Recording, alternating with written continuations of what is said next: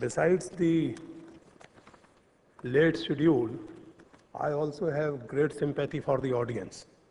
So I am not going to take more than 15 minutes, and after that, it's up to you to have questions or not to have questions. Thank you very much, sir. And I am really very happy to be here and talking to you. The topic today, no full stops in being Indian, obviously it's taken from the well-known book by Mark Tully, No Full Stops in India. And this is something which was told by the late painter Jagdish Swaminathan to Mark in late 80s or early 90s. And Jagdish Swaminathan told Mark Tully, there are no full stops in India, only commas. So Mark Tully took the title of his fascinating book from this statement of Jagdish Swaminathan. And I agree with this. There are no full stops, there are only commas, but it seems, and I am not going into whether it's good or bad, but these days there seem to be a lot of question marks on being an Indian.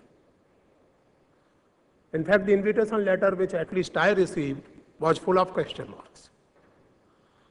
And uh, this is not a matter of concern, but this is a matter of great deliberation.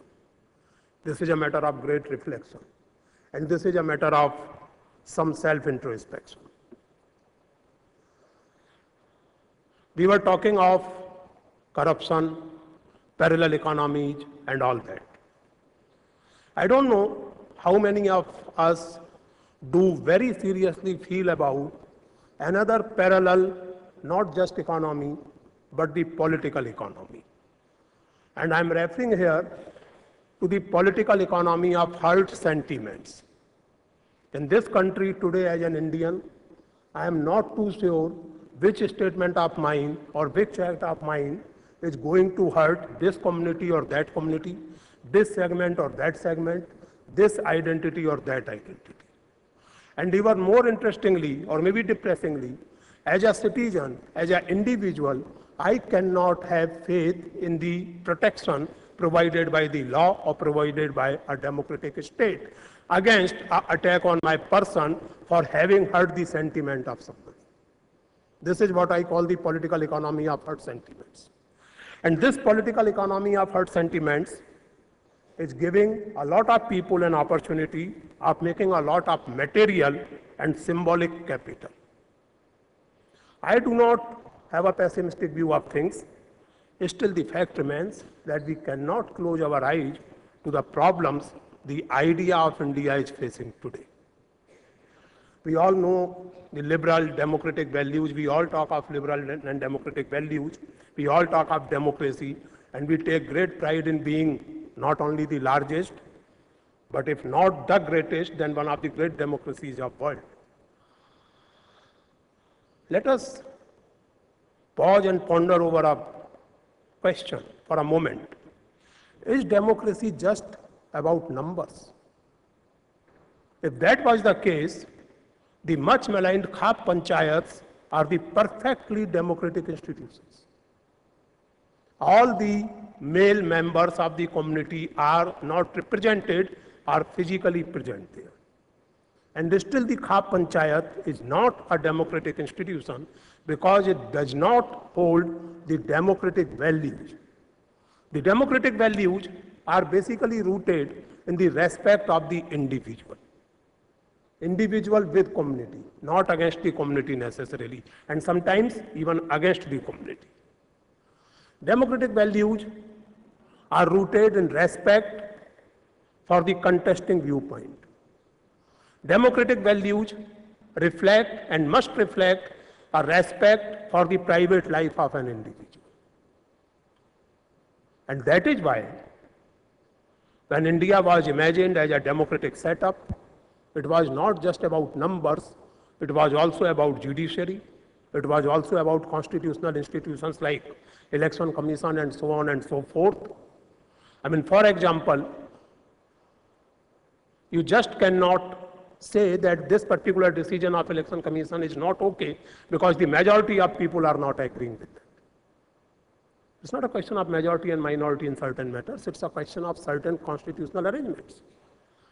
Are these constitutional arrangements and institutions working all right today? I don't know. We have to think about these things. Friends, the basic question to my mind, and I'm really happy and slightly surprised that in a conference where hard issues of economy and policy are being discussed, something as abstract and as almost exotic like being Indian is being discussed. I'm very happy about it and slightly excited also.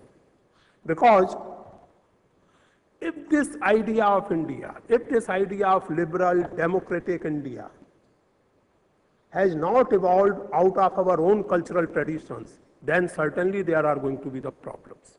We are facing a lot of these problems because we have consistently and systematically refused to have a dialogue with our tradition and a dialogue with those who live out their tradition in their everyday life even today. I have been reflecting and thinking about these questions for quite some time. Three years ago, I published a book about the great poet Kabir, but it is not just about Kabir, it is also about India of his time and India of my time. The argument which I have tried to make in that book is very simple.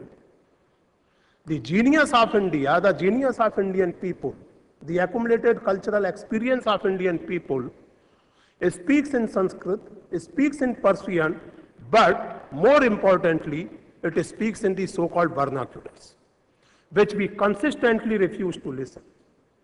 We consistently refuse to interact with respectfully. I have mentioned this in my book, and I would like to mention this to you also, friends.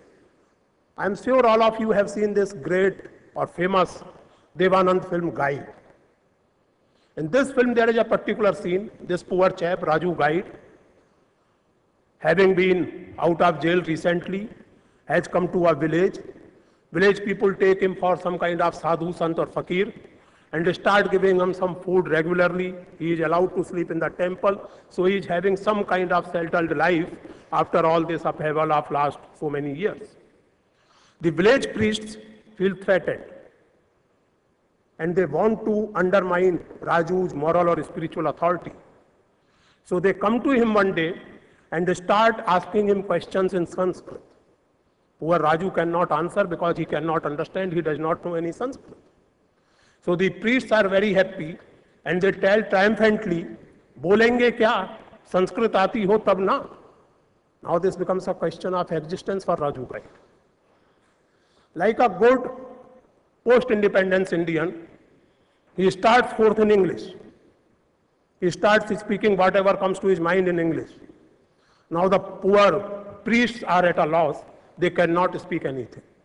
And Raju Guide says, बोलेंगे क्या अंग्रेजी आती हो तब ना My dear friends, the point is in this country, there are many people, and there have been many people for last 1000 years at least, who did not speak either Sanskrit or Persian or who do not speak English today, but they speak a lot of sense. And we must listen to them very carefully if we want to make a democratic idea of India a felt reality, not just a declared goal. We have to listen to those people. Kabir was one such man. Vidyapati was one such man. Akha Sunar from Gujarat was such man.